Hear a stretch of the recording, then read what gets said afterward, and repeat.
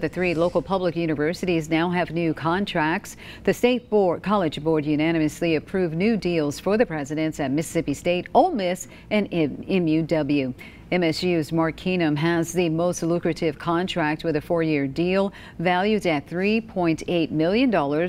It jumps to 5.8 two, excuse me, 5.2 million if he gets the maximum in bonuses.